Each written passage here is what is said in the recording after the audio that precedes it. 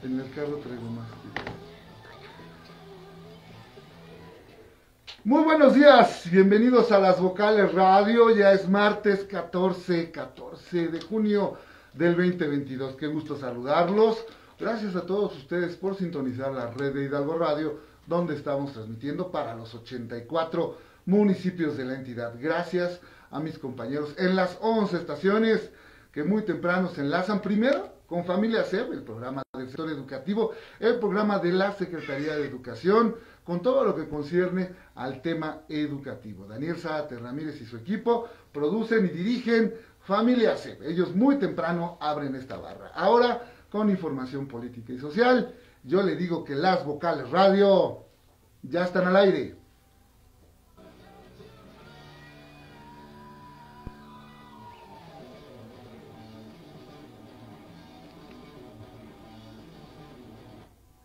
Muchas gracias por sintonizarnos nuevamente, a quienes lo hacen en la red de Hidalgo Radio, a quienes nos están viendo en Facebook Live, muy buenos días. Saludo también con mucho gusto y le agradezco muchísimo su apoyo. Saúl Ortiz en los controles, buen día Saúl, gracias. Romino Sorno Lascano, Romy, muy buenos días, gracias. ¿Cómo estás? Gracias a ti Andrés, muy muy buenos días. Saludos a Aldo, a Saúl, a toda la estimada audiencia que nos sintoniza desde tempranito y no se pierde ninguna emisión de las vocales radio. Muy buenos días a quienes así, así lo hacen. Aldo Falcón, ¿cómo estás? Buen día. ¿Qué tal Andrés Romina, Saúl? Buen día a todos. Gracias por estar con nosotros como todos los días desde hace más de ocho años. Puede vernos y seguirnos en www.vocalesonline.com.mx, nuestra página oficial, nuestro portal de noticias Ahí usted va a encontrar entrevistas, reportajes, columnas, muchísimas fotos, muchísimos videos. No se pierda www.vocalesonline.com.mx, que es nuestra página oficial, es nuestro portal de noticias. Y ahí vamos poco a poco, ¿no? Empezamos con este portal hace un par de años, eh, un poquito más de dos años, ¿no, Aldo Falcón? Así es. Y hemos ido tratando de mejorar poquito a poquito con su apoyo. Gracias por sus comentarios, por sus opiniones, por sus críticas. Todos son bienvenidos, todos, todos, de verdad los tomamos muy en cuenta. Y bueno, pues ahí vamos haciendo nuestro esfuerzo poco a poco. Le agradecemos muchísimo por seguirnos. También estamos en la plataforma de YouTube. Allí están también las vocales. Tenemos redes sociales y correos electrónicos. Aldo Falcón, si quieren ponerse en contacto con nosotros, ¿cómo le pueden hacer? Así es, Andrés. Si gustan hacerlo a través de un correo electrónico en vocalesradio.online.com. En Twitter nos encuentran como arroba las vocales radio. En Instagram estamos como vocales-radio. Muchas gracias a quienes nos llaman por teléfono. Y si usted quiere hacerlo, puede marcar el 771-7110848 y el 771-7111069. Esos son nuestros números de contacto, esas son nuestras redes sociales y por supuesto nuestras, eh, pues nuestra oferta informativa todos los días las vocales radio con usted. Saludo ya como siempre a mis compañeros que están ahí listos para entrar en acción, Aarón Oviedo, Maripaz Roldán, Milton Cortés, Altares Cervantes, están listos ya desde su posición para entrar con sus respectivas secciones. En un ratito más vamos a estar en contacto con todos ellos. Bueno, de entrada, recuerde usted, estamos en pandemia, estamos teniendo una circunstancia complicada en el tema del COVID. No baje la guardia, está declarada la quinta ola oficialmente de contagios. Desafortunadamente está creciendo el número de contagios. Afortunadamente, si es que se puede manejar de esta manera, bueno, el número, la mortandad es baja, ya lo dijeron las autoridades. Eh, esta quinta ola se va a caracterizar, esta quinta ola de COVID, por un enorme número de contagios, Aldo Romy, una eh, baja incidencia de mortalidad, afortunadamente, pero eh, pues al fin y al cabo contagios de COVID, ¿no, Ron? Así es, Andrés, y bueno, pues en las últimas 24 horas la situación pues no ha sido nada positiva, como bien lo señalas. Eh, pues parecía ser que este tema no va a trascender en cuanto a hospitalizaciones ni en cuanto a defunciones. Afortunadamente, el sector salud reporta el 96% de ocupación hospitalaria, lo cual es positivo. Sin embargo, en las últimas 24 horas se reportaron 156 nuevos casos de COVID. Cifra que pues sí nos pone muy, muy en alerta porque, bueno, pues hay que recordar que en semanas pasadas se reportaban hasta cinco, ocho casos, hubo días que ni siquiera se reportaban no hubo casos, positivos, exactamente. Y, y, a partir de hace una semana más o menos, pues fue cuando los casos empezaron a subir exponencialmente. En las últimas 24 horas, 156 nuevos casos. Pues situación que debe recordarnos que no debemos bajar la guardia, que debemos seguir las medidas sanitarias, pues que ya van casi ya tres años, Andrés y Aldo, que, que hemos llevado a la práctica, así es que por favor siga usando su cubrebocas de manera correcta. No olvide que hasta a la tienda o al lugar a donde usted acuda tiene que portarlo porque este virus no tiene un manual, no tiene lugares específicos de contagio, no tiene pues una guía, ¿no? Lo puedes contagiar. No hay ningún patrón conocido, ¿no? Ninguno, caray. Puede estar en cualquier lugar. Lo puedes adquirir en cualquier momento, en cualquier circunstancia. Así es que por favor, sea responsable con su salud y sea responsable con la salud de las personas que lo rodean, porque pues en un abrir y un cerrar de ojos puede adquirir esta enfermedad. Si bien, como bien lo dices Andrés, no se caracteriza esta quinta ola por... Eh, pues hospitalizaciones o alto nivel de fallecimientos, pues recuerde que el COVID no solo afecta a su salud, también afecta a lo emocional y sobre todo lo físico y hasta lo físico y lo económico, porque hasta su empleo puede pues puede depender de esto. Mire, le vamos a pedir un favor. Yo sé que todos los días le estamos aquí recomendando traer el cubrebocas, lavarse las manos constantemente, respetar la sana distancia, acudir a la vacunación, que Aldo Falcón todos los días nos da puntual seguimiento de ese asunto, le damos, eh, le presentamos el mapa epidemiológico del estado, pero ahora le voy a pedir otro favor. Fíjese usted que en esta quinta ola, bueno, pues una de las características y que hemos estado los medios difundiendo esta característica es que, bueno, si alguien se contagia de COVID, es muy probable que esté vacunado, en México al menos, y por lo tanto, pues los síntomas de la enfermedad sean más benignos, sean menos agresivos. Mucha gente ni siquiera se hace ya la prueba para confirmar si tiene o no COVID, si cree que es como son síntomas muy parecidos a los de un resfriado, usted lo sabe, a una gripa, bueno, pues la gente ya no hace caso. ¿Y qué crees que está pasando? Pues que se vuelven agentes de contagio. Las personas que dicen, ah, bueno, yo estoy vacunado, me va a dar bien leve, no hay problema, este, hay con un día de descanso quizás, y si me siento bien, ni eso. Bueno, pues eh, lo que sucede es que esa persona en todos los lugares donde se mueve, en todos los lugares donde se encuentra, es potencialmente una fuente de contagio. Y entonces, pues vamos a llegar al punto en donde haya una persona que su sistema inmunológico pues, no sea tan resistente o tenga otras características y quizás a esa persona sí los síntomas le sean más agresivos. Vamos a cuidar a nuestra familia, vamos a cuidarnos entre todos. Si usted tiene síntomas, si presenta síntomas, como fiebre, como malestar, dolor de cabeza, eh, escurrimiento, nasal. nasal y dolor de garganta, dificultades para respirar. Vaya al médico. Si tiene usted COVID, seguramente va a pasar un par de días con estos síntomas y después se le va a quitar. Es muy probable. Ya eso dependerá de su médico, pero hay que acudir al médico para tener certezas. Y la otra, pues hay que descansar, hay que estar en casa, hay que respetar el aislamiento para evitar contagios.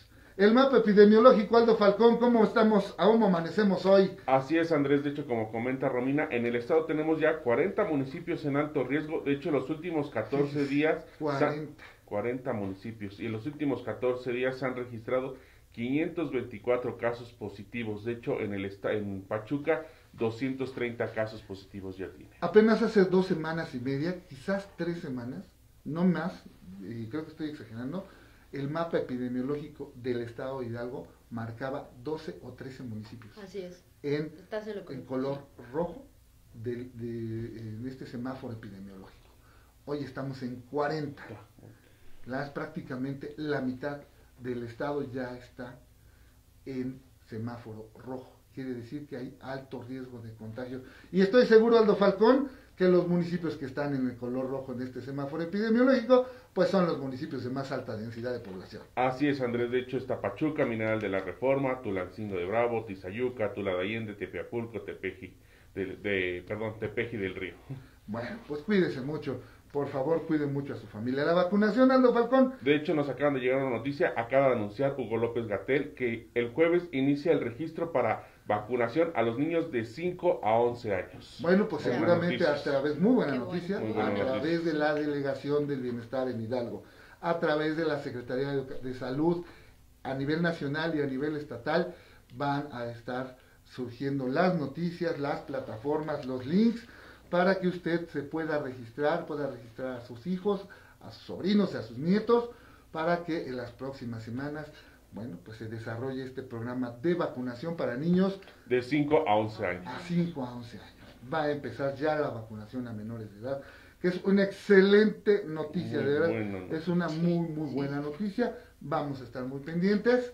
Y bueno, pues así las cosas en materia Así es, hay que estar al pendiente, por favor, de la página mivacuna.salud.gov.mx. Ahí pueden encontrar todas las bases. Y por supuesto, no se pierdan las vocales. En todas sus presentaciones vamos a estar muy, muy eh, atentos para darle a usted información de último momento, de último minuto, respecto a este programa de vacunación anti-COVID para niños de 5 a 11 años que está a punto de iniciar en nuestro país. Así es, de hecho, se va a dividir en varias etapas. La primera será en diciembre, la segunda será de febrero a mayo, la tercera será de mayo a junio y así continuará hasta junio del 2022. Bueno, pues vamos a cambiar rápidamente de tema porque las cosas están complicadas en el tema del clima. Ayer las autoridades de nuestro estado dieron a conocer el problema y la circunstancia, el riesgo, lanzaron una alerta pues respecto al tema de las intensas lluvias que se están registrando en buena parte del país. Se hizo una actualización de las condiciones atmosféricas y de acuerdo al análisis de las condiciones atmosféricas que la Secretaría de Protección Civil y Gestión de Riesgos de nuestro estado estima, con base en la información de la Coordinación Nacional de Protección Civil, bueno, pues se observó un incremento en el potencial de lluvias a partir de la noche de ayer y por lo menos hasta el próximo día jueves 16. Dichas precipitaciones, o las lluvias que se esperan, pueden presentarse con intensidad de hasta eh, puntuales y hasta puntual fuertes, es el término que utilizan, así como estar acompañadas de granizo y aceleración de los vientos. Es decir, se esperan lluvias intensas, acompañadas de granizo y fuertes vientos. Ayer en la zona de Cuautepec, Aldo Falcón, en, en Tecocomulco, cerca de la laguna, pues se dio una tremenda eh, tormenta, una tromba, ¿no, Aldo Falcón? Prácticamente. Que inundó las calles de aquella localidad. Tuvimos algunos acceso a imágenes y videos. Afortunadamente, de acuerdo a los despachos oficiales, pues no hay eh, personas lesionadas ni ninguna pérdida que lamentar, pero como dice la canción, qué manera de llover. Así es. De hecho, con este comunicado que acabas de leer, en ese sentido se espera y se mantendrá la observación en todo territorio estatal, siendo las regiones de observación especial la Sierra, la Huasteca y la Tomite-Pegua.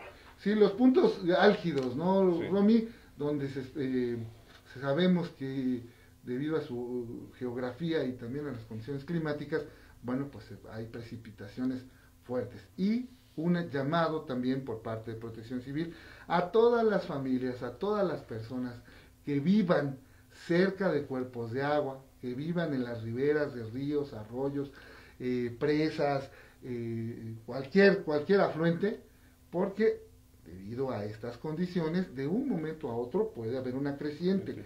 Puede haber, así se le denomina, una avenida de agua. Y esto, pues quizás represente un riesgo para e, estas personas y sus familias. Muy atentos a la señal de Hidalgo Radio, muy atentos a los eh, despachos informativos de radio y televisión de Hidalgo, les pedimos por favor, porque por supuesto el gobierno del estado a través de la Subsecretaría de Protección Civil y Gestión de Riesgos, pues nos estará informando, estaremos dando a conocer cuáles son las condiciones. Creo que Maripaz Roldán, que ya está aquí con nosotros, quiere hablar al respecto. Cuéntanos, Maripaz. Pues, Buen día, primero que nada. Primero que nada, disculpa, me tardé precisamente porque me llamó la atención el comunicado que este, muy amablemente hiciste favor de compartirlo y que es muy necesario decirles también que a las 4 de la mañana de hoy, este, en el centro de México del Océano Pacífico ya se formó la depresión tropical 2 Blas. Esta viene con 450 kilómetros al suroeste de Acapulco, Guerrero, y a 635 kilómetros al sureste de Manzanillo, Colima, viene con vientos máximos de 55. Y lo que tú dices, eh, estaba viendo este, las imágenes satelitales, pues sí hay lluvias en varias partes, entre esas pues Guerrero, Oaxaca, este, Puebla, y pues están cerca de nosotros, sobre todo Puebla, y por ese lado nos puede llegar y, y lo que tú decías, efectivamente se mantienen ya en estado de alerta el, todo lo que es el sistema de protección civil.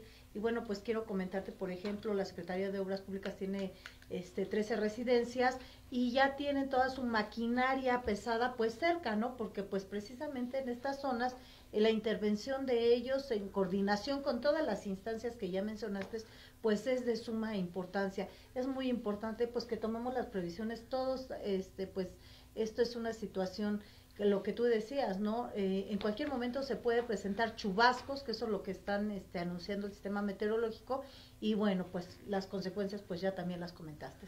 Es, es importante estar atentos para eh, no correr riesgos y bueno, pues Protección Civil nos confirma, se esperan lluvias intensas, granizadas y fuertes vientos para los próximos días. Cuídese mucho, por favor. Bueno, vamos a ir al corte promocional. Tenemos información sobre seguridad pública, tenemos información del Congreso del Estado, por supuesto lo que está sucediendo en materia política en nuestro Estado. Bueno, pues faltan dos meses y unos días más, quizás dos meses y medio, para el relevo en el poder ejecutivo de nuestro Estado. Estamos viviendo una temporada, un tiempo inédito en pues todo lo que tiene que ver a los asuntos del servicio eh, público, que tienen que ver con eh, pues la reconfiguración que ya inició en muchos organismos políticos y bueno, de eso vamos a hablar después del corte y por supuesto también le vamos a avisar dónde van a estar las pipas de Casim. Vamos a ir al corte promocional, regresamos en un instante.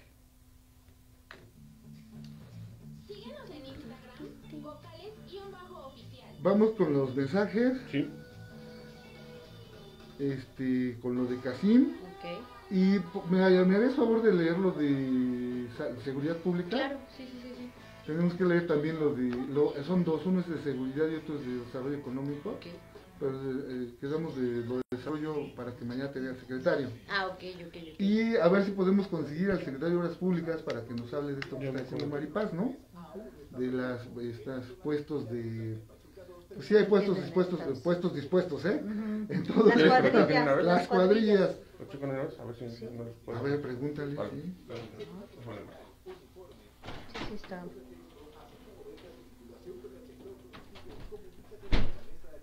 Ay, ¿cómo se actualiza? ¿No sabes? ¿Qué? Es que, ¿qué crees que me mandé? Ahora sí que me mandé, ya ves que hoy es lo de la sangre y también pues de unas, claro, menos importante en ese sentido por lo menos para nosotros, este, de Coprice que está, hay una clínica que funciona en cinco estados y pues que no tienen la infraestructura y bueno, pues además de todas las cajas que están este, saliendo, pues imagínate, pasa que te pongan chicharrones y no te ponen limones, pues no. Acredita gobierno. Sí, este, hay una, lo, lo de, lo de seguridad. Cinco, ¿no?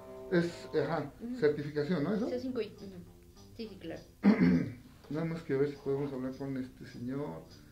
Este, Meneses. Arrieta. Arrieta. Este, ¿Cuál es su nombre de pila? José Meneses. José Meneses Arrieta.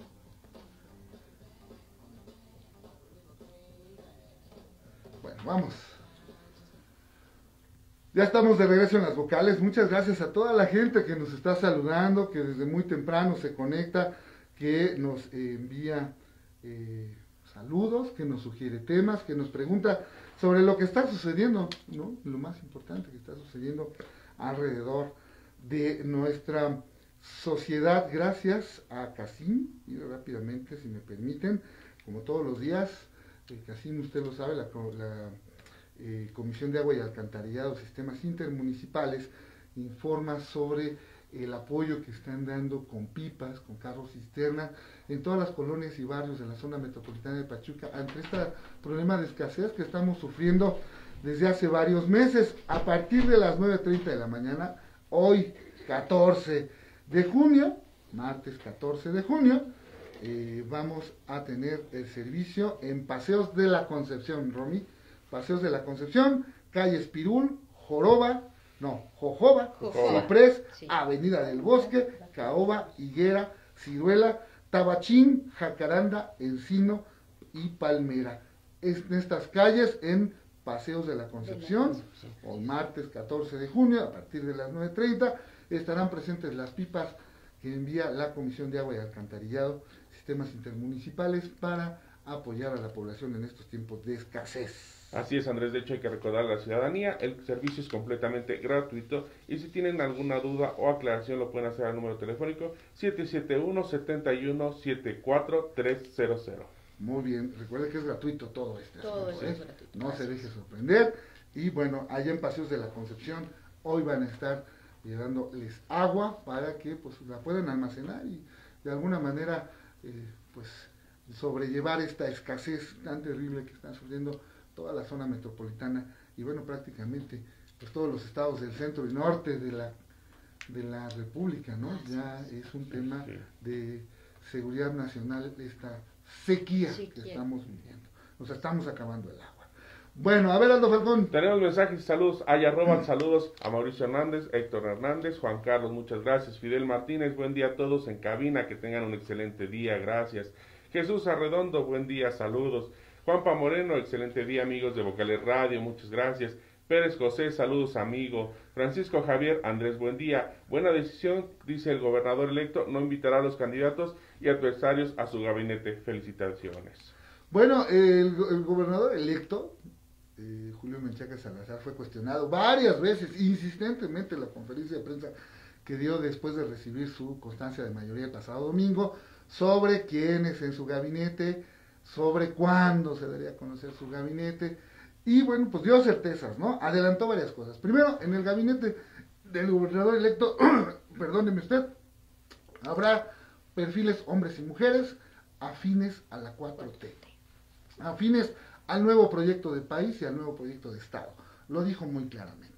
Número dos, dijo que primero, pues había que concluir, había que terminar este proyecto de gobierno que establecieron con estas reuniones, con estas mesas de trabajo, con esa convocatoria que se hizo de manera paralela a la campaña, para eh, estructurar un plan de gobierno. Y número tres, dijo que iniciaban este proceso de entrega-recepción, de acuerdo a lo que marca la ley, de la actual administración que entregaría a la nueva administración pues todo lo que concierne al tema administrativo, ¿no?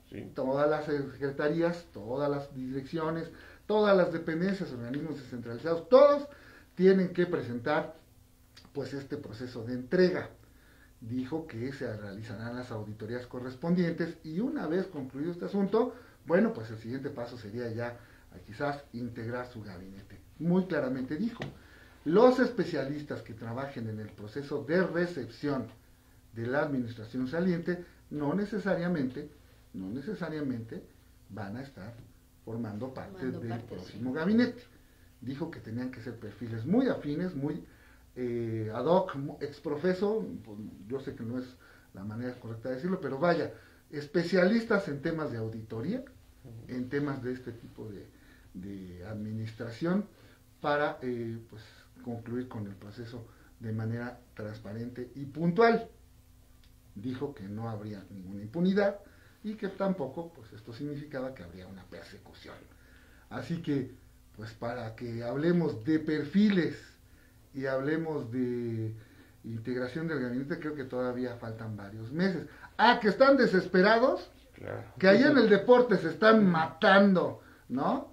Se están matando porque, por ejemplo, el grupo de Fátima eh, Baños, que es la actual dirigente del deporte, se quiere perpetuar, ¿no? A través de Pepe el administrador, ¿no? Se quieren perpetuar en, el control del deporte, bueno, pues ese es otro asunto, ¿no? Hay denuncias, todas las asociaciones están en contra, no tienen usted idea de la presión que están recibiendo los, los presidentes de las asociaciones para que lo apoyen, para que apoyen a este señor, ¿no? Está la cosa que arde. Por ejemplo, por citarle un ejemplo. En otras dependencias, la presión va en el sentido de que pues hay muchos empleados, muchos trabajadores que por alguna u otra razón no están conformes, quedaron a des, ahora sí que a disgusto y pues están aprovechando los últimos días, que están aprovechando la circunstancia de pues ya la prácticamente el retiro de la actual administración, pues para filtrar cualquier cantidad de cosas, ¿no? Cualquier cantidad de acusaciones, cualquier cantidad de lo que solamente enturbia y lo que solamente distrae, ¿no? Porque bueno, la mayoría de estos señalamientos y acusaciones son anónimos. Y bueno, desde la otra perspectiva, pues quién sabe cómo estén los funcionarios, ¿no? Pero eso no es cuestión ni de los que los eh, están, eh, digamos así, grillando, ni de los medios de comunicación. Eso es un asunto de las auditorías hay una secretaría este, es profeso para eso, y bueno, pues serán las autoridades correspondientes quienes revisen y en su caso resuelvan donde eh, pueda o no haber alguna cuestión anómala. Hasta ahí nos quedamos, ¿no? Es lo que está sucediendo, ¿no? Como medios de comunicación, el otro día se los dije y hoy se los reitero, no tienen ustedes idea de cuántas quejas recibo diariamente de todas las secretarías, ¿eh? del propio sistema estatal de radio y televisión, Diariamente me paran aquí en la puerta, tres, cuatro, y me dan quejas como usted no tiene la idea, ¿no? Pero yo no soy matón a sueldo. Si hay denuncias, ahí están las autoridades. Si alguien tiene alguna denuncia y quiere que lo hagamos, pues con las pruebas, ¿no? Vamos con las pruebas. Porque eso de que nada más estar echando señalamientos y acusaciones, así como dicen un exdirector que tuve y que me enseñó mucho, don Roberto Bardini, ¿no? Está aventando acusaciones con un ventilador, pues está complicado, ¿no? Hay que probar, ¿no? El que está acusando está obligado a, probar. Así es. Así es. Luis, Gary García nos escribe, excelente día. También hay que recomendar que tienen que cuidar el agua, no rieguen el pasto en horas donde hay sol y cuidar cualquier fuga en la casa. Tienes mucha razón, querido amigo Gary. Por favor, entre esta escasez, hay que regar. Si usted tiene su pastito, sus plantitas ahí en el frente de su casa, espere que caiga la noche. En, el momento que cambie la temperatura, es decir, que baje la temperatura, es momento de regar sus plantas. Use una cubeta, no saque su manguera, use una cubeta y regle sus plantas o su pasto, va a ahorrar agua y debido a la temperatura las plantas van a absorber mejor el líquido que si usted riega durante las horas donde hace más calor, se evapora y se pierde el agua. Bueno, eh, las fugas, ese también es un asunto importante. Cuide, cuide el agua. Vamos. Así es, Andrés, hay que reportar cualquier fuga. Muy bien. Aldo Falcón, ¿ya estamos?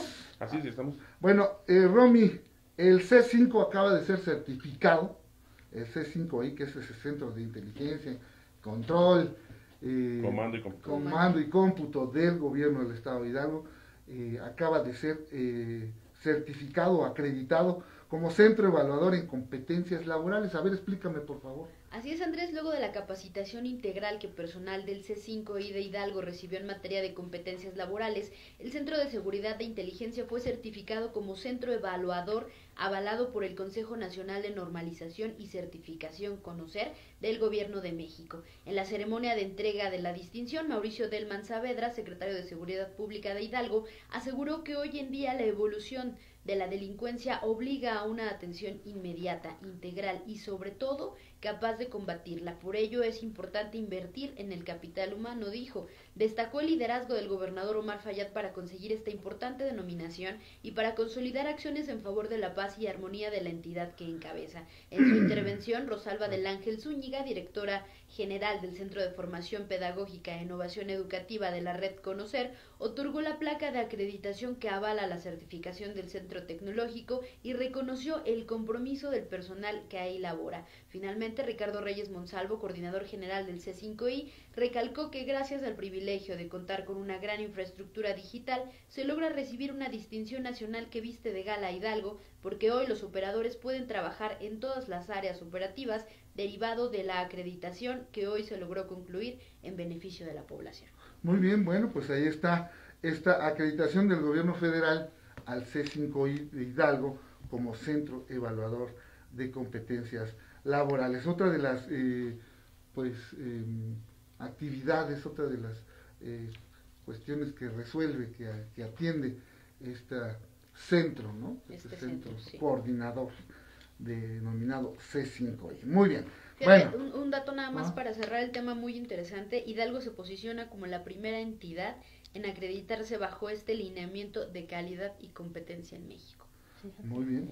Bueno, pues es eh, desde que se inauguró, ¿recuerdas Aldo Falcón que estuvimos ahí en la inauguración?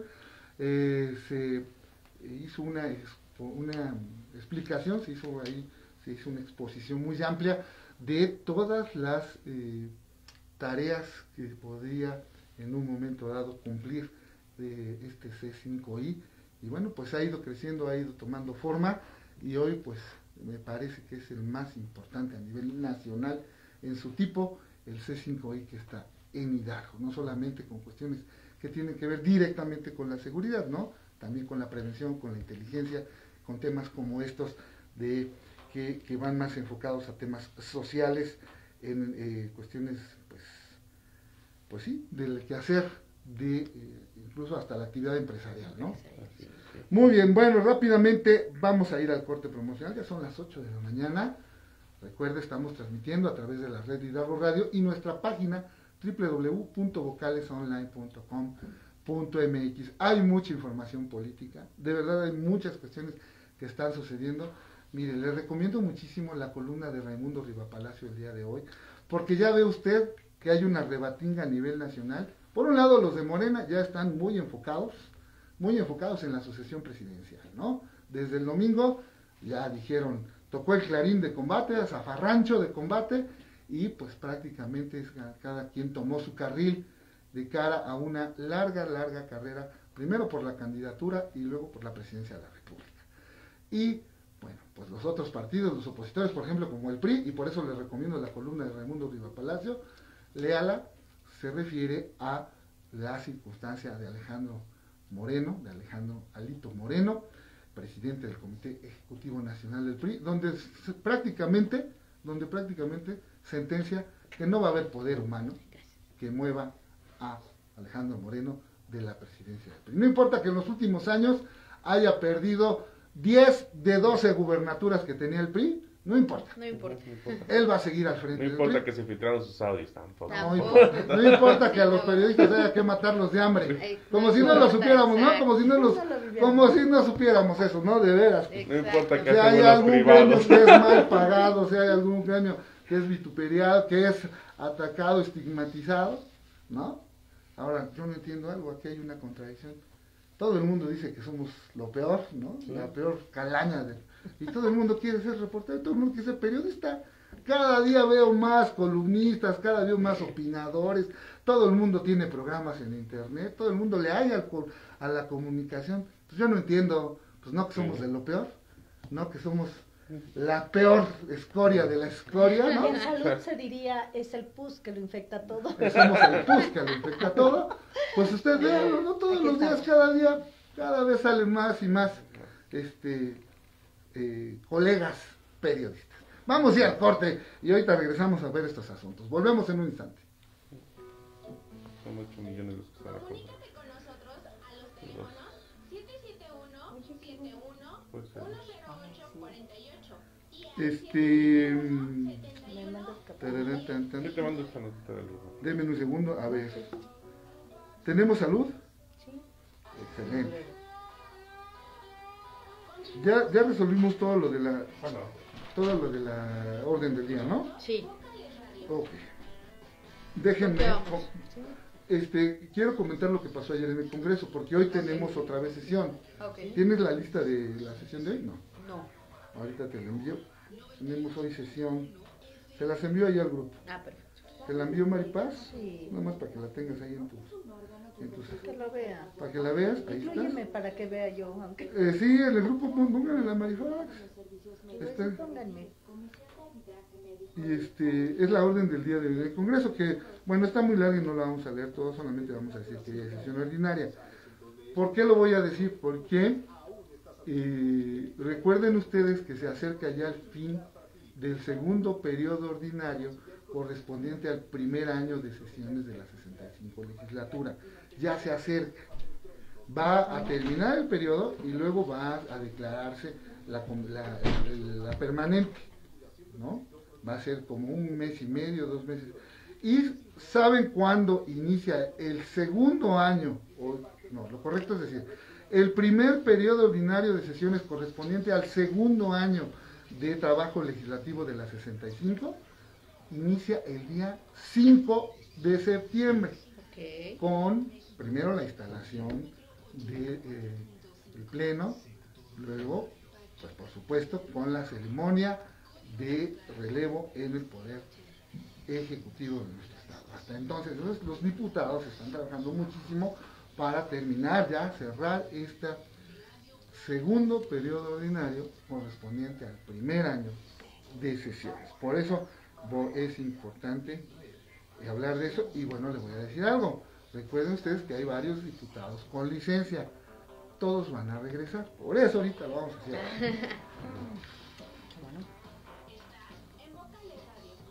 ¿Quién te habló, macho? Eh, lo de obras públicas, pero me dice que no conteste el secretario. No, no, hay, no, pues, no, disculpe, no, sí, sí, no, el, a ver si mañana. O mañana.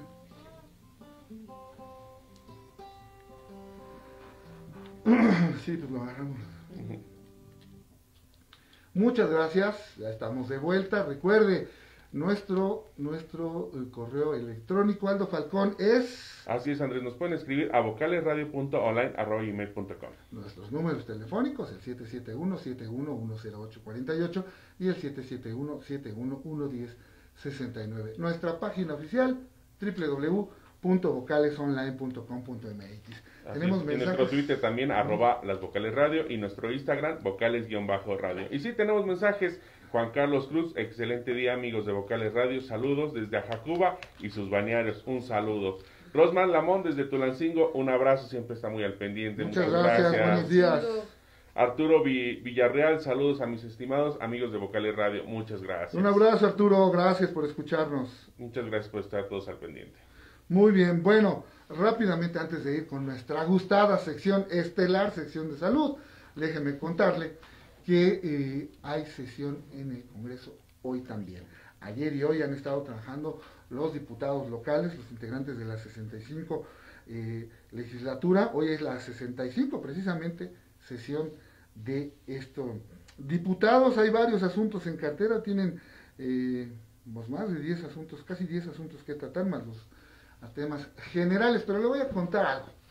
Estamos casi, casi ya en las últimas semanas, más bien estamos ya en las últimas semanas de eh, segundo periodo ordinario correspondiente al primer año de sesiones de la 65 legislatura. Están a punto de terminar, falta un poquito, unas semanas más, y habrán concluido ya este segundo periodo ordinario correspondiente al primer año. Habrán cumplido ya un año pues en el cargo de diputados locales. Vendrá un eh, vendrá un tiempo, unos, un par de, un mes y medio, un poquito más quizás, en donde estará trabajando la comisión permanente. Usted lo sabe, se nombra una comisión que va a trabajar un permanente con representación de todas las bancadas y eh, digamos que en este periodo de descanso, si usted me permite el término, porque no están descansando, están eh, de alguna manera también en las labores correspondientes a los diputados, a, la labor, al trabajo que realiza un diputado local.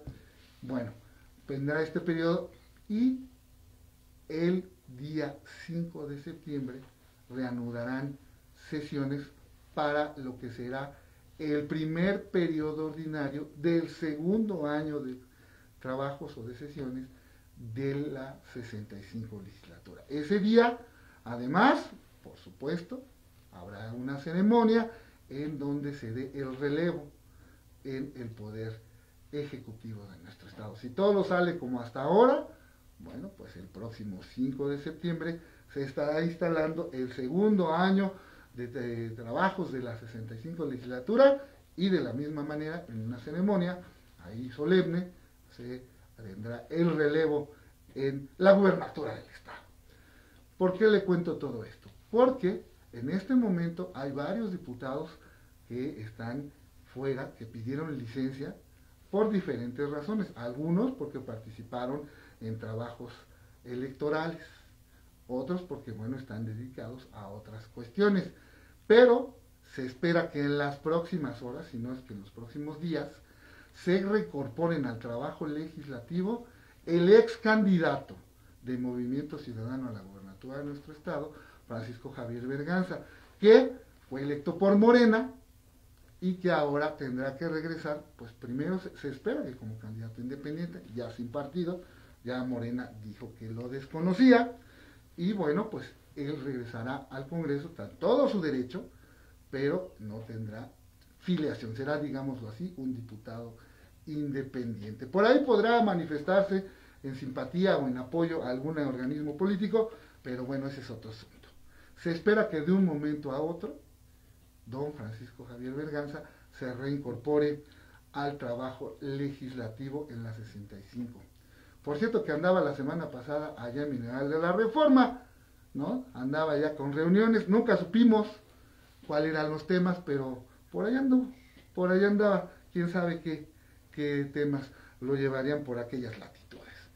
Número dos, otro que también solicitó licencia para incorporarse a trabajos legislativos, a trabajos electorales, es el también presidente del Comité Directivo Estatal del PRI, Julio Valera, diputado local, que se espera que de un momento a otro, quizás en la sesión de esta, de esta semana o la próxima, se reincorpore a los trabajos en la 65 legislatura. Ellos son los que más recientemente solicitaron licencia y bueno, pues por cuestiones electorales se, eh, se ausentaron pues del Congreso. Pero al acercarse el noveno mes del año, cuando ya esté cerquita las fiestas patrias, cuando ya usted ve en la calle que viene el señor prendiendo banderitas, reguiletes, cuando Romino Sorno le ponga a su carro este, estos motivos tricolores, no. ¿no? Cuando la, también Maripaz Roldán venga aquí con su, su, su, traje de china poblana, por esos días ya lo verá usted. Alejandro Enciso, que es secretario particular del gobernador Omar Fayad Meneses y que es diputado local con licencia, se reincorporará a los trabajos legislativos. Ya lo verá usted. Falta ya muy poquito, se acaba la administración estatal y bueno, pues en este ajedrez político las piezas se van a volver a mover, se van a volver a mover. Eso es interesantísimo. Hablando de lo que sucedió ayer en el Congreso, los compañeros de la Crónica de Hidalgo, mis compañeros reporteros, estuvieron haciendo una pues pequeña encuesta, ¿no? una pequeña eh, sondeo entre los diputados, preguntándoles, bueno, del resultado de las elecciones del 5 de junio, pues qué, cuál era el talante, de qué eh, humor estaban, pues, para enfrentar lo que sigue, ¿no? El nuevo trabajo, la nueva relación que tendrán el legislativo y el ejecutivo, en este caso con el gobernador electo Julio Menchaca Salazar. Por supuesto, los partidos que integraron la alianza que llevó al triunfo a Julio Menchaca, el PT, el Morena y el PANAL, los representantes de estos partidos, pues se mostraron muy satisfechos, se, pues, se dijeron dispuestos al trabajo, a la cooperación, a la coordinación, para sacar adelante las iniciativas que pudiera presentar en los meses finales del año el próximo, en este momento, gobernador electo. Por parte, por ejemplo, del PAN, del PRD y del PRI, que son los partidos que integraron la alianza opositora, los diputados del PRI, bueno, pues prefirieron declarar, decir que iban a esperar, que desde su perspectiva primero habría que agotar todos los temas en tribunales, todas las impugnaciones que han sido presentadas para en ese momento, de acuerdo al fallo de las autoridades, bueno, pues ya pensar en cuál sería el talante, cuál sería el eh, humor, la circunstancia en la que tendrían que trabajar con las nuevas autoridades, en este caso con el nuevo gobernador del estado. Hasta entonces prefirieron no emitir mayor opinión. Los del PAN, pues por la misma, ¿no? Se dijeron en el mismo talante, se dijeron o se manifestaron en la misma línea, en el mismo criterio. Los del PRD no. Los del PRD dijeron, bueno, sí, vamos a esperar el resultado de, los, eh, de las impugnaciones, vamos a esperar los fallos de los tribunales respecto al resultado de la elección del 5 de junio. Pero bueno, pues qué bueno que tenemos un gobernador electo de izquierda, qué bueno que viene la transición y que bueno, pues hay que pues, ponernos a trabajar por el bien del Estado, ¿no? Ellos sí como que fueron más, eh, digamos, flexibles en sus declaraciones. Lo cierto es que pues, también en el Congreso del Estado se está eh, llevando este proceso de digestión al cambio que estamos viviendo en nuestro Estado. No olviden ustedes, nuestro país, nuestro Estado está dividido en poderes, el legislativo, el ejecutivo y el judicial. Son independientes. Bueno, eso dice la Constitución eso dice la ley. Aquí el asunto es que es característico de todo el inicio de las administraciones y de, bueno, de todas las relaciones entre los ejecutivos estatales y los legislativos, bueno, pues una relación constante, a veces buena, a veces mala, a veces tirante, a veces totalmente encontrada, porque, bueno, el Ejecutivo constantemente propone iniciativas, modificaciones, y el Legislativo las revisa, les da el visto bueno, a veces en algunos casos, bueno, las enriquece y en otros, bueno, pues este, las aprueba directo, pero al final se revisan y esta correlación entre el legislativo y el ejecutivo da como resultado los ordenamientos que en muchos casos hacen que las administraciones avancen. ¿eh? Recuerden ustedes que los presupuestos se resuelven con una propuesta que manda el Ejecutivo y con la revisión que hace el Legislativo. Si estamos hablando que en próximo septiembre tendremos un nuevo gobernador y que luego, ¿eh? para ir de noviembre, se estará presentando ya por parte del Ejecutivo un proyecto de egresos e ingresos para el 2023, pues ahí está el primer encontronazo, ¿no? Ahí vamos a ver luego, luego, cuál es la relación entre los diputados locales y el próximo gobernador del Estado. ¿no? Ahí se va a ver en qué rubros va a haber mayor énfasis, va a haber mayor acentuación, en qué rubros va a haber cambios. También vamos a ver qué secretarías desaparecen, qué secretarías se quedan, qué institutos se crean, qué institutos se fortalecen, cuáles también se modifican. Es muy interesante el trabajo que viene para los próximos meses, ya muy pronto, entre el Ejecutivo y el Legislativo. Por eso le estoy contando todo lo que le estoy contando.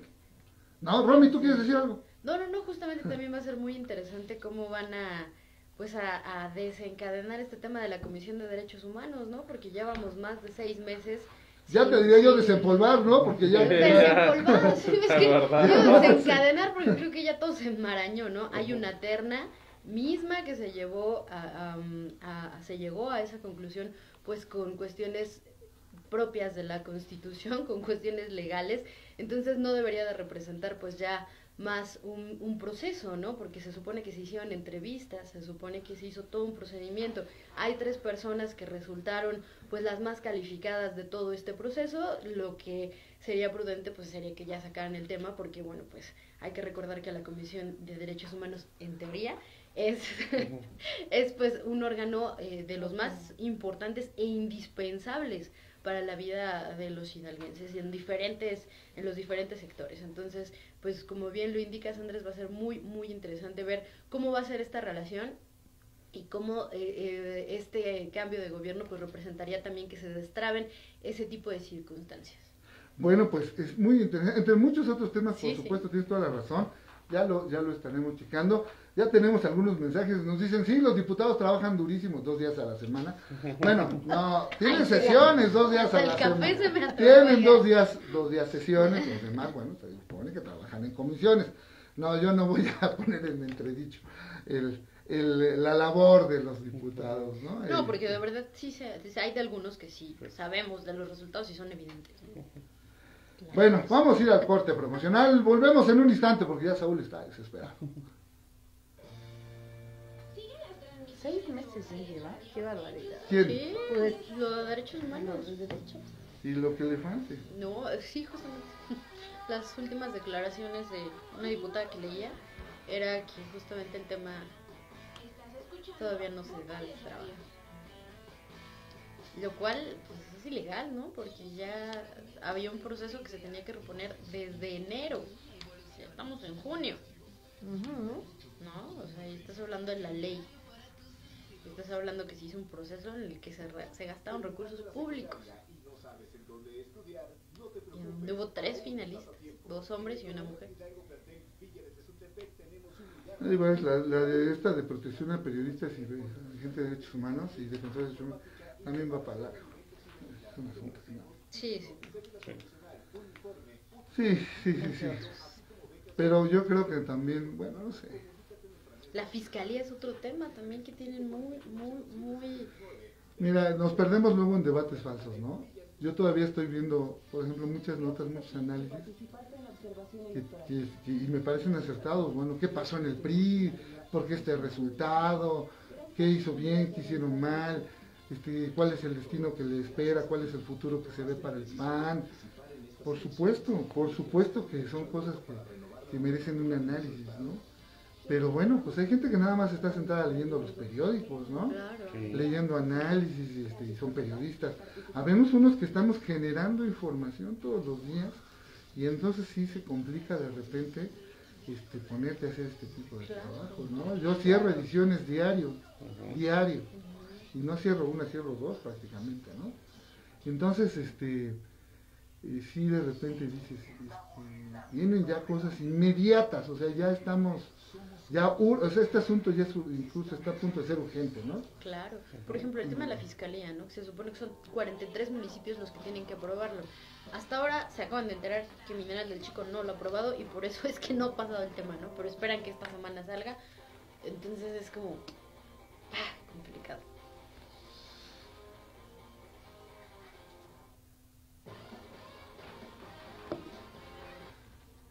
Gracias, ya estamos de regreso en las vocales. Muchos saludos, muchos mensajes. Gracias a toda la gente que nos escribe y nos saluda. Don Javier, buenos días. Manuel Sánchez, buenos días. También Elsa me saluda. Gracias a Juan Benito Ramírez. Muy buenos días, Astrid. Gracias también a Mirna Molina que me escribe. Aldo Falcón. Juan Carlos Cruz, también Pedro Escamilla, Federico Escamilla, Olga Islas, Marta Pacheco, Pérez José, Francisco Javier, Juanpa Moreno.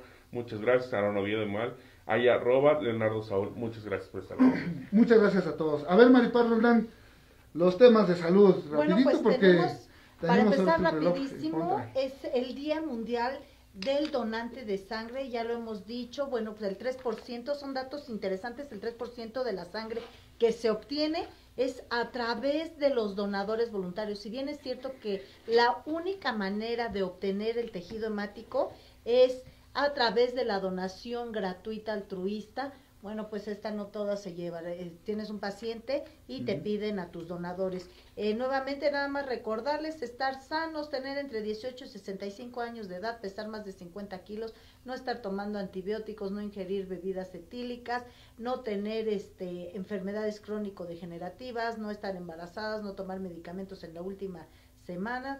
Y bueno, pues estos son algunos de los requisitos si usted quiere ser donador. Eh, pues, ¿Hay una edad mínima o máxima? ¿Por es de 18 a 65. 18 a 65. Entonces, este, bueno, pues para que vayan ya pasé, los ya, que ya, ya, ya no se puede.